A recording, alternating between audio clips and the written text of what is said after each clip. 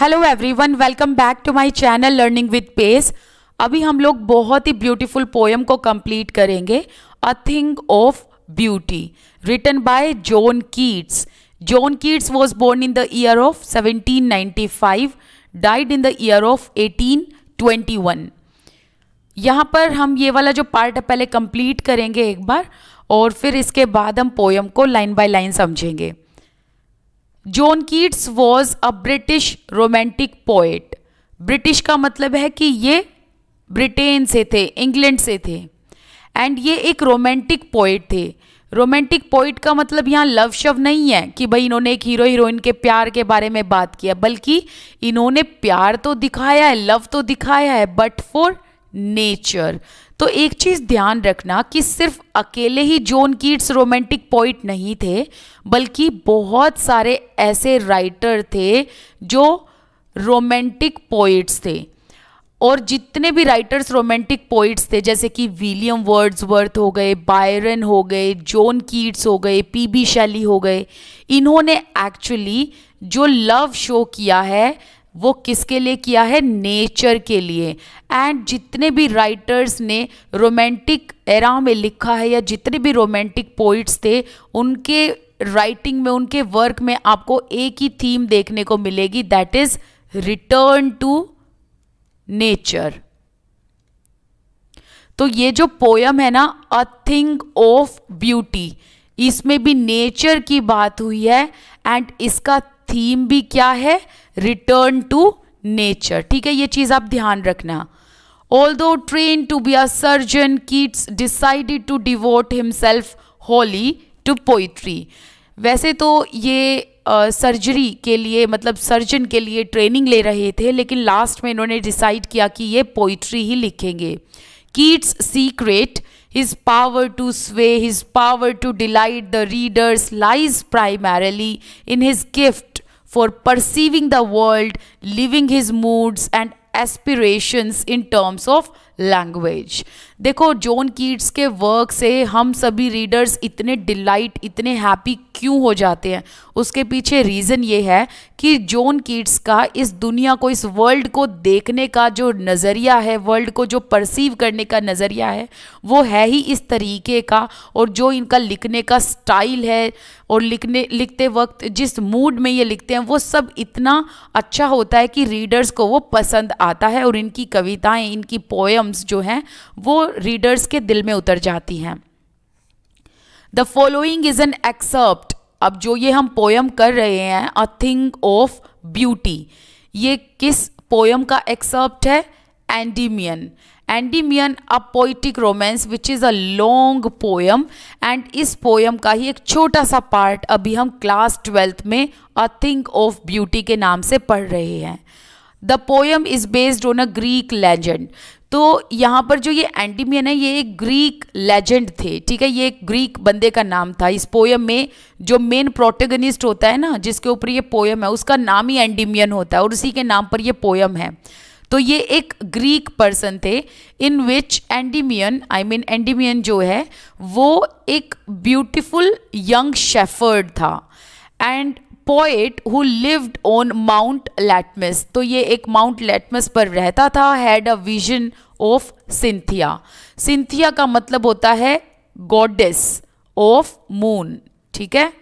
Goddess of moon so basically इस poem में Endymion poem में, जो एंडीमियन एक शेफर्ड होता है, वो कहाँ रहता है? माउंट लेटमस में रहता है और उसको सिंथिया से प्यार हो जाता है। उसके बारे में वो सोचता है। एंड सिंथिया कौन है?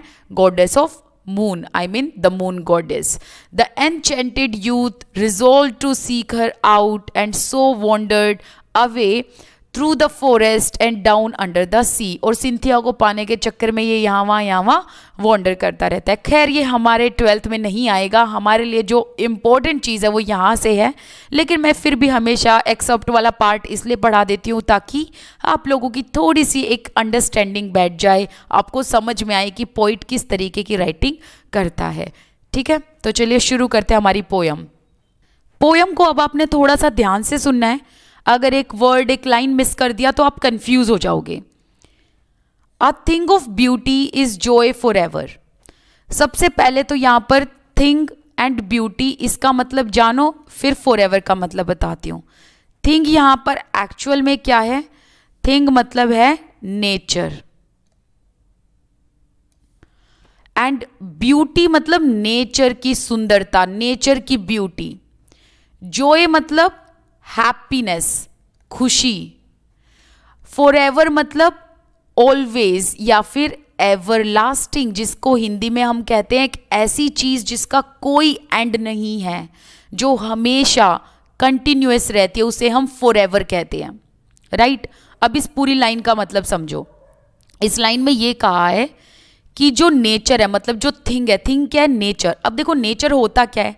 सन मून माउंटेन इसके अलावा जैसे रेन हो गया या फिर रिवर्स हो गए फ्लावर्स हो गए, ये सब नेचर का हिस्सा हैं राइट तो जो ये नेचर है और ये जो नेचर की ब्यूटी है, ये फॉर है, ठीक है? इस एक ही लाइन के दो मीनिंग है, ध्यान से सुनना, कि भाई जो ये नेचर की ब्यूटी है, ये फॉर है मतलब ये हमेशा रहेगी एवर लास्टिंग है। इसका कोई एंड नहीं है, ठीक है? इसका कोई एंड नहीं है। मतलब नेचर की ब्यूटी का कोई एंड नहीं है। नेक्स्ट इसी लाइन का मतलब एक ये है कि जब जब हम इस नेचर की ब्यूटी को देखते हैं, तब तब हमें हैप्पीनेस महसूस होती है, तब तब हमें खुशी महसूस होती है। ठीक है? ये चीज़ें आपने ध्यान रखनी है, जो जो मैं बताए जा रही हूँ आपको, ठीक है? तो इस लाइन का मतलब क्या हुआ? कि नेचर की ब्यूटी कभी ख़त्म नहीं होती एंड जब जब हम इस नेचर की ब्यूटी को देखते हैं, हमें हैप्पीनेस महसूस होती है। इट्स लवलीनेस इंक्रीजेज अब यहाँ ये बताया है जोन किड्स कहते हैं कि जो नेचर की ब्यूटी है, वो हमेशा इंक्रीज होती रहती है। हमेशा इंक्रीज होती रहती है। फिर इसी लाइन का एक और मतलब ये भी है कि जब जब हम इस नेचर की ब्यूटी को देखते हैं, ये ब्यूटी हमेशा हमारी हैप्पीनेस को डबल करती रहती है और हमारी हैप्पीनेस इंक्रीज होती रहती है। ठीक है? It will never pass into nothingness nothingness का मतलब क्या है? ज़ीरो खत्म या डिमिनिश तो यहाँ पर जोन कीट्स कहते हैं कि जो ये नेचर की ब्यूटी है it will never pass into nothingness मतलब नेचर की ब्यूटी कभी खत्म नहीं होगी। नेचर की ब्यूटी कभी ज़ीरो नहीं होगी। ठीक है? But will keep a bower quiet for us bower का मतलब क्या होता है? शेडी शेडी छायादार। ठीक है? शेडी प्लेस अब यहाँ पर क्या कहा है? Will keep a bower quiet for us us में कौन है? अस में हम सभी लिविंग क्रिएचर्स आ गए, ठीक है? एनिमल्स ह्यूमन बींग्स सब लिविंग क्रिएचर अस में यहाँ पर डाले हुए हैं। तो अब जोन कीट्स कहते हैं कि जो ये नेचर है और ये जो नेचर की ब्यूटी है ना, ये हमारे लिए एक बावर है मतलब एक शेडी प्लेस है, एक ऐसा, ऐसी जगह है जो हमें प्रोटेक्ट करती है, ठीक है? जैसे कि इसका एक एग्ज़ाम्पल मैं देना चाहूँगी साथ साथ मतलब आपको समझ आ जाएगा। जैसे हमें धूप से, हमें बारिश से बचाने के लिए या डस्ट से बचाने के लिए हमारे घर है, हमारे घर के ऊपर छत है। छत हमें बचाती है ना बहुत सारी चीज़ों से। ऐसे ही नेचर एक ऐसा, या फिर ये कह लो ये नेचर की जो ब्यूटी है, एक ऐसा बावर आपके लिए क्रिएट करती है, एक ऐसा शेड क्रिएट करती है जो आपको प्रोटेक्ट करता है। एंड इस शेड के under you get a sleep एक ऐसी नींद आपको मिलती है जो साउंड स्लीप होती है मतलब एकदम मज़ेदार, बढ़िया नींद आपको मिलती है। Full of sweet dreams health and quiet breathing quiet breathing का मतलब होता है एकदम रिलैक्स्ड फिर जोन कीट्स कहते हैं कि ये जो नेचर की ब्यूटी है ना मतलब जो ये प्रकृति की सुंदरता है, जो नेचर की सुंदरता है, ये हमारे लिए एक ऐसा बावर, एक ऐसा शेड प्रोवाइड करती है, जिसके अंडर हमें बहुत अच्छी नींद आती है, अच्छे अच्छे सपने आते हैं, एक ऐसी नींद जिसमें बहुत अच्छे सपने आते हैं। हमारी हेल्थ बहुत अच्छी रहती है, क्योंकि जब भी हम इस नेचर की ब्यूटी को देखते हैं, इससे हमें सूदन अप मिलती है, इससे हमें कामनेस मिलती है, जो हमारी हेल्थ को बहुत अच्छा रखती है। और नेचर की वजह से हम रिलैक्स्ड फील करते हैं। अब एक एग्ज़ाम्पल लो, जब आप माउंटेनियस एरिया पर जाते हो या फिर आप एक ऐसी जगह पर चले जहाँ पर बहुत पेड़, पौधे हैं, फूल, पत्तियाँ हैं, आपको अच्छा लगता है ना वहाँ जाके रिलैक्स फील करते हो ना तो वही चीज़ है यहाँ पर कि ब्यूटी क्या है नेचर की? एक बावर है। बावर मतलब एक ऐसा शेड प्रोवाइड करती है, एक ऐसा प्लेस प्रोवाइड करती है जहाँ पर आपको अच्छी नींद आती है, अच्छे सपने आते हैं, अच्छी हेल्थ रहती है एंड आप काफ़ी रिलैक्स्ड फील करते हैं। देयर फोर ऑन एवरी मोरो मोरो का मतलब होता है फॉलोइंग डे मतलब हर आने वाला कल का दिन. We wreathing are we wreathing wreathing मतलब an circle a flowery band flowery band का मतलब क्या होता है? एक फूलों की माला. ठीक है? या फिर एक garland to bind us to the earth bind का मतलब जो हमें जोड़ कर रखती है किसी चीज़ से। आपको ये जो दो लाइन है ना, ये तब समझ में आएगी जब आप एक बार इस नेक्स्ट लाइन को समझोगे, ठीक है? तो पहले नेक्स्ट लाइन करते हैं, फिर आपको मैं ये देयर फोर से शुरू करके आपको बताऊँगी कि इस लाइन का मतलब क्या है। स्पाइट ऑफ़ डेस्पोडेंस स्पाइट का मतलब होता है इल फीलिंग मतलब जब आप किसी का बहुत ही बुरा चाहें तो दैट मीन्स आप इल फीलिंग रखते हैं सामने वाले के लिए। और इसको क्या कहते हैं? स्पाइट ये इंस्पाइट नहीं है, ये स्पाइट है, ध्यान रखना। डेस्पोडेंस का मतलब क्या होता है? डेस्पोडेंस का मतलब होता है when you are too sad ठीक है? जब आप काफ़ी सैड हो, उसे कहते हैं डेस्पोडेंस या फिर जब आप डिसहार्टनड होते हैं डेस्पोडेंस बोलते हैं। इन ह्यूमन का मतलब तो आपको पता ही होगा, जिसमें ह्यूमैनिटी नाम की चीज़ नहीं है डर्थ का मतलब होता है lack of noble nature noble का मतलब होता है काइंड तो डर्थ ऑफ़ नोबल नेचर का मतलब ऐसे लोग जो काइंडनेस की कमी रखते हो। राइट ऑफ़ ग्लूमी डेज़ मतलब सैड डेज़ डार्क डेज़ ऐसे दिन जो अच्छे नहीं होते, जो नेगेटिव होते हैं। चलो, अब मैं आप लोगों को ये यहाँ पर समझाऊँगी कि इसका मतलब क्या है बेसिकली ठीक है? तो देखो यहाँ पर क्या कहा है। यहाँ पर जॉन कीट्स कहते हैं, आप हर एक वर्ड का मीनिंग ध्यान रखना बस, ठीक है? जॉन कीट्स कहते हैं, हम डेली हम डेली ऐसे लोगों से मिलते हैं जो इनह्यूमन होते हैं मतलब जिनमें ह्यूमैनिटी नाम की चीज़ नहीं होती, जिनको हम कह सकते हैं सेल्फिश पीपल फिर ये कहते हैं एंड हम ऐसे लोगों से भी मिलते हैं who are dearth of noble nature मतलब जिनमें नोबिलिटी नहीं होती, जिनमें काइंडनेस नहीं होती, ठीक है नेगेटिव लोग राइट right? अब इस लाइन को समझे, ये कहते हैं जोन किड्स हम डेली किसी न किसी ऐसे इंसान से मिलते हैं जिनमें इंसानियत नहीं है इन ह्यूमैनिटी है एंड जिसमें नोबल नेचर नहीं है मतलब जो काइंड नहीं है राइट right? ऐसे लोग जो स्पाइट होते हैं मतलब जो आपके लिए बुरी फीलिंग रखते हैं, जो आपको हर्ट करना चाहते हैं, आप डेली ऐसे लोगों से मिलते हैं।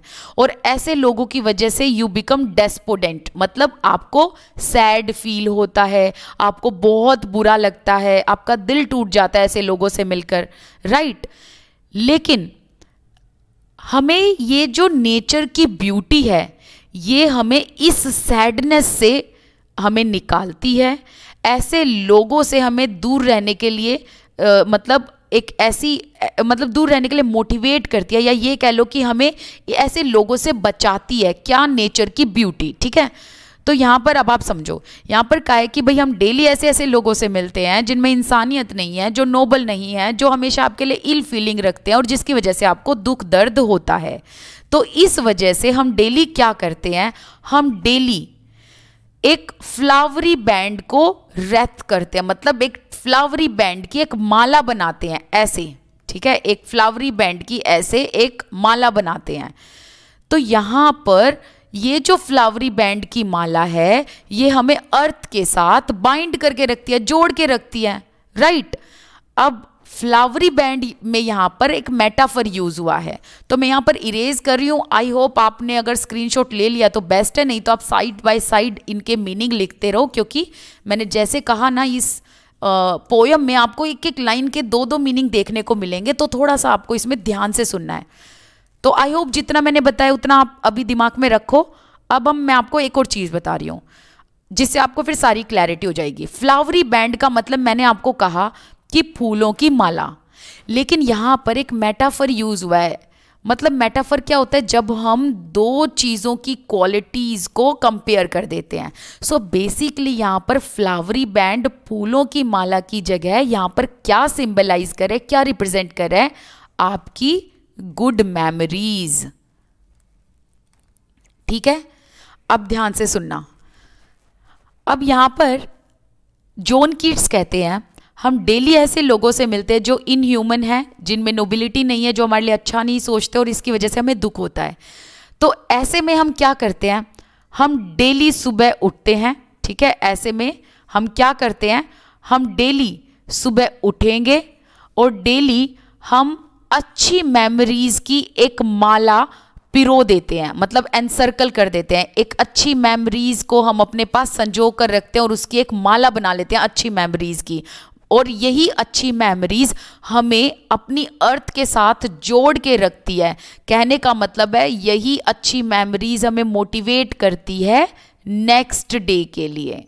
आई होप अब आपको समझ आया हो कि हम इतना बुरा देख लेते हैं इन लोगों की वजह से, जो सेल्फिश हैं, जो ग्लूमी डेज़ हैं, इतने गंदे होते हैं ऐसे दिन, जो नेगेटिव होते हैं नेगेटिव लोगों की वजह से हमें बहुत बुरा लगता है, हम बहुत डिसहार्टेंड हो जाते हैं। तो हमें नेचर मोटिवेट करता है। कैसे मोटिवेट करता है? एक्चुअली नेचर में रहकर हम नेचर की गुड मेमोरीज़ की एक फ्लावरी माला बनाते हैं, एक फूलों जैसी माला बनाते हैं। गुड मेमोरीज़ की माला बनाकर हम उसे पिरो देते हैं अपनी ज़िंदगी में और वही वही गुड मेमोरीज हमें इस अर्थ के साथ बाइंड करके रखती हैं मतलब हमें मोटिवेट करती है नेक्स्ट दिन के लिए। Of the unhealthy and over darkened ways made for our searching yes in spite for all some shape of beauty moves away the pall from our dark spirits अब डार्क स्पिरिट्स का मतलब यहाँ क्या है? Dark soul ऐसे लोग जो हमारे लिए अच्छा नहीं सोचते। पॉल का मतलब क्या होता है? सैडनेस की जो सैडनेस की जो शील्ड होती है, उसे हम पॉल कहते हैं। राइट बेसिकली एक कवर सैडनेस का एक कवर अब देखो यहाँ पर क्या कहा है। यहाँ पर जोन कीट्स कहते हैं कि ये जो सेल्फिश लोग हैं ना, जिनकी अभी हमने बात की ऐसे लोग जो दूसरों का बुरा चाहते हैं, ऐसे लोग जो नोबल नहीं हैं, जो काइंड नहीं हैं, ये लोग ना अपनी सर्चिंग के लिए सर्चिंग का मतलब है अपने गोल को पूरा करने के लिए अनहेल्दी तरीकों को अपनाते हैं। अपने गोल को पूरा करने के लिए ये सेल्फिश लोग डार्कंड वेज को अपनाते हैं। And in spite of all जो इंसान इतने सेल्फिश तरीके से अपने गोल को पूरा करते हैं और यही नेचर जो है, यही नेचर की जो ब्यूटी है, वो इस डार्क स्पिरिट से हमें बचाती है मतलब ऐसे सोल से हमें बचाती है जो अपने गोल को कंप्लीट करने के लिए डार्क तरीकों को अपनाते हैं। एंड यही नेचर की ब्यूटी हमारी सैडनेस के कवर को मूव अवे करती है। मूव अवे का मतलब है रिमूव करती है। ठीक है? आगे बढ़ते हैं। अब आगे ना हमें जोन किड्स अब बता रहे हैं कि एक्चुअल में, मैं एक बार पेन का कलर चेंज कर लूँ क्योंकि बहुत रेड रेड हो गया तो थोड़ी सी आपको आसानी होगी समझने में। अब देखो जोन कीट्स कहते हैं यहाँ पर आगे कि ये नेचर है क्या बेसिकली सन नेचर है मून नेचर है ट्रीज ओल्ड मतलब ओल्ड ट्रीज नेचर है यंग मतलब यंग ट्रीज भी नेचर है स्प्राउटिंग मतलब जो ग्रोइंग ट्रीज हैं, वो भी नेचर है। ये सब क्या है हमारे लिए? ये शेडी बून है। शेडी बून का मतलब समझ रहे हो? ब्लेसिंग्स हैं। आशीर्वाद हैं। तो यहाँ पर जोन किड्स कहते हैं सन मून ट्रीज ये सब हमारे लिए एक शेडी बून है, एक ब्लेसिंग है।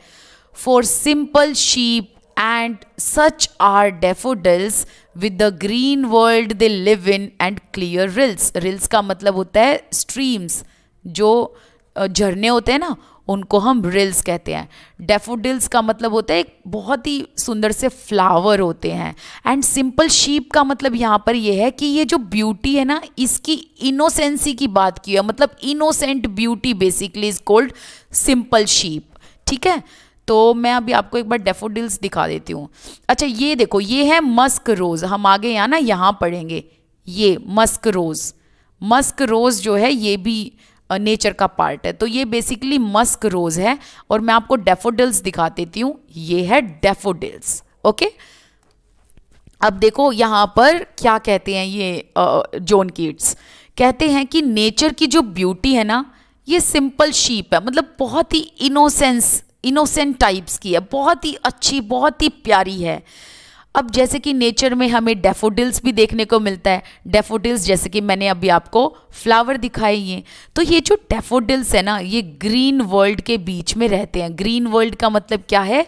फॉरेस्ट के बीच में, जहाँ पर बहुत पेड़ पौधे हैं। फिर बताते हैं ये आगे रिल्स के बारे में। रिल्स का मतलब है झरने streams that for themselves a cooling covert make cooling मतलब ठंड कोवर्ट मतलब हिडन तरीके से। अब देखो यहाँ पर क्या कहते हैं जोन किड्स कहते हैं कि जो ये रिल्स हैं रिल्स मतलब झरने क्लियर रिल्स का मतलब साफ़, सुंदर से जो ये झरने हैं, ये जो नदियाँ हैं छोटी छोटी ये हमें कूलिंग कोवर्ट प्रोवाइड करते हैं। कूलिंग कोवर्ट का मतलब समझना। देखो, एक तो है ओवर्ट और एक होता है कोवर्ट ओवर्ट होता है जो सामने आपको दिख जाए कोवर्ट होता है जो आप हिडन तरीके से होता है। जैसे कि आपको ठंडी हवा देने के लिए आपके सामने पंखा है कूलर है राइट लेकिन जो स्ट्रीम्स होती है ना वो भी आपको ठंड प्रोवाइड करती है। ठंड इन द सेंस एक आपको कूल ब्रीज प्रोवाइड करती है नदियाँ लेकिन वो कोवर्ट तरीके से प्रोवाइड करती है जो आपको दिखती नहीं है। ऑल right, तो इसलिए कहा गया कूलिंग कोवर्ट ऐसी Uh, मतलब आपको कूलिंग इफ़ेक्ट प्रोवाइड करना जो कोवर्ड तरीके से होती है। तो यहाँ पर ना जोन कीट्स कह रहे हैं कि ये जो सुंदर सुंदर झरने हैं ना रिल्स जो हैं ये हमें कूलिंग कोवर्ट प्रोवाइड करते हैं कोवर्ट तरीके से प्रोवाइड करते हैं कूलिंग और ये भी एक नेचर का हिस्सा है। और ये जो हमें कूलिंग इफ़ेक्ट प्रोवाइड करते हैं it is against the hot season मतलब अगर बहुत गर्मी हो गई, बहुत ज़्यादा गर्मी तो नेचर ऐसी चीज़ है जो हमें बचाता है। नेचर ऐसी चीज़ है जो हमें इतने हॉट सीज़न में भी ब्यूटी प्रोवाइड करता है by providing cooling in covert ways the mid forest brake rich with the sprinkling of fair musk rose blooms अब यहाँ पर जोन की जोन कीट्स कहते हैं, ये जो मस्क रोज है ना, जो मैंने अभी आपको दिखाया एक सेकेंड ये ये क्या है? ये मस्क रोज़ है। इसकी जो खुशबू है ना, वो मस्की सी है, ऐसे भीनी भीनी सी, बड़ी खुश, अच्छी खुशबू होती है। इसके परफ्यूम भी बनते हैं, ठीक है? तो यहाँ पर ये कह रहे हैं कि बहुत सारे जो ये फॉरेस्ट मिड फॉरेस्ट ब्रेक मतलब ये जो बहुत सारे, ये जो फॉरेस्ट में बहुत सारी नेचर की चीज़ें हैं ना, इनके बीच में मस्क रोज़ भी ब्लूम करता है मतलब खिलता है, जो कि क्या स्प्रिंकलिंग मतलब रिच विद स्प्रिंकलिंग का मतलब है कि ये हमें हैप्पीनेस प्रोवाइड करता है एंड एक ऐसी फ्रेगनेंस हमें प्रोवाइड करता है, या ये कह लो एक ऐसी स्मेल एक ऐसी फ्रेगनेंस जिससे हमें हैप्पीनेस मिलती है, जिससे हमें खुशी मिलती है और मस्क रोज़ की वजह से हम तरो ताज़ा हो जाते हैं राइट और ये भी एक नेचर का पार्ट है तो हुई ना ये नेचर की beauty and so too is the grandeur of dooms अच्छा एक और चीज़ ऊपर यहाँ पर ये भी ध्यान देना कि नेचर ऐसी चीज़ है जो लिविंग बींग्स के लिए बहुत ही ऐसी एक एक चीज़ जो आ, इनको एक एक ऐसा प्लेस प्रोवाइड करती है जिसमें लिविंग बींग्स को प्रोटेक्शन होती है। चाहे एनिमल्स की बात कह लो अगर एक एनिमल को सोना है तो वो पेड़ की छाँव के नीचे जाके सोता है राइट अगर हम ह्यूमन बींग्स की बात करें तो हमारे लिए पेड़ पौधे और ये नेचर ये सब कितना काम आता है? सो so, यहाँ पर कहने का मतलब है कि जो ये नेचर की ब्यूटी है ना ये सभी लिविंग क्रिएचर्स के लिए एक फ्रेशनेस का काम करते एक प्रोटेक्शन का काम करते एक ऐसी ब्यूटी प्रोवाइड करते जिससे हमें मोटिवेशन मिलती है राइट नेक्स्ट लाइन देखते हैं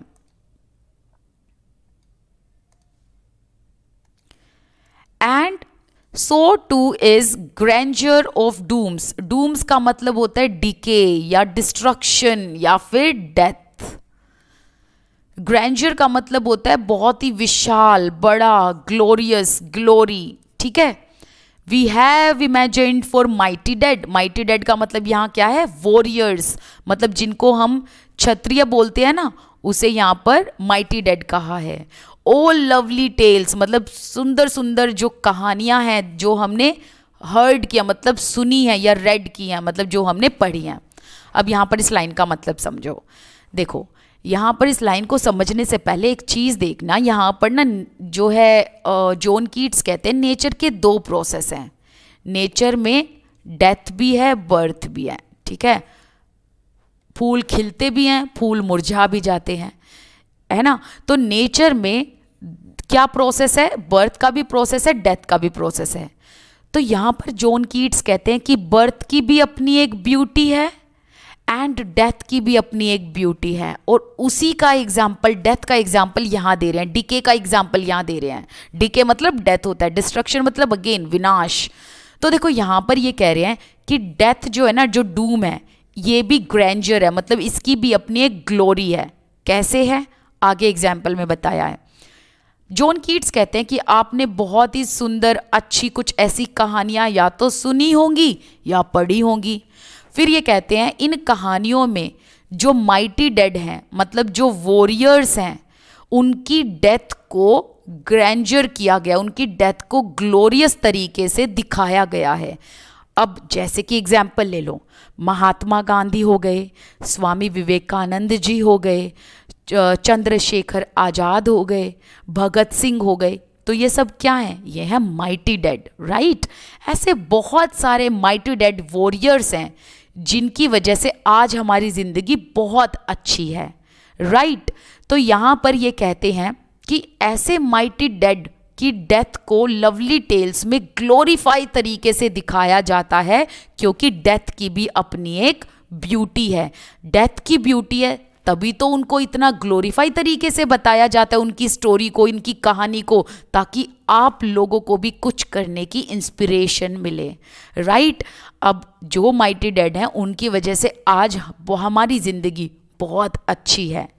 यू गोट माई पॉइंट तो ये कहते हैं कि बर्थ की तो अपनी एक ब्यूटी है ही, डेथ की भी अपनी एक ब्यूटी है। और ये ब्यूटी आपको लवली टेल्स में देखने को मिलेगी, जहाँ पर माइटी डेड की कहानियों को बहुत ही ग्लोरियस तरीके से बताया हुआ है। उनकी बर्थ को भी और उनके डेथ को भी बहुत ही ऐसे तरीके से बताया, जिससे लोगों को मोटिवेशन मिलती है। और फिर ये कहते हैं, ये जो डेथ है ना, डेथ जो है, ये नेचर का ही तो पार्ट है। और इसी डेथ में ब्यूटी भी है। तो हुई ना नेचर की ब्यूटी राइट नेक्स्ट देखो एन एंडलेस फाउंटेन मतलब एक ऐसा फाउंटेन एक ऐसा फवारा जो एंडलेस है, जो कभी नहीं खत्म होगा ऑफ़ इमोर्टल ड्रिंक इमोर्टल मतलब अमर never ending pouring unto us pouring unto us का मतलब हमारे ऊपर वो गिर रहा है फ्रॉम हेवंस ब्रिंक मतलब हेवन के किनारे से तो गोड की तरफ़ से, ठीक है? तो यहाँ पर ना जॉन केट्स लास्ट की लाइन में कहते हैं कि ये जो नेचर की ब्यूटी है ना, ये हम सब के लिए एक इमोर्टल ड्रिंक है। ये एक ऐसा फवारा एक ऐसा फाउंटेन है जो कभी नहीं ख़त्म होगा। और इस फाउंटेन से हमें जो ये इमोर्टल ड्रिंक मिल रही है ना, ये हमारे ऊपर जो गिर रही है, ये भगवान की तरफ़ से गिर है, ये गॉड का गिफ्ट है। So so basically John Keats कहते हैं कि ये जो नेचर की ब्यूटी है it is a gift from God and it is a gift to us from God भगवान ने ही ये गिफ्ट हमें दिया है और ये नेचर की ब्यूटी एक ऐसा गिफ्ट है जो हमेशा एंडलेस है। ये कभी ख़त्म नहीं होगा, हमेशा इमोर्टल रहेगा राइट और फिर यहाँ पर ये पोयम एंड हो जाती है। आपको ये पोयम कैसी लगी यहाँ पर मुझे बताना। कोई डाउट है तो भी आप मुझे बता सकते हैं। अच्छा एक बहुत ही इंपॉर्टेंट चीज़।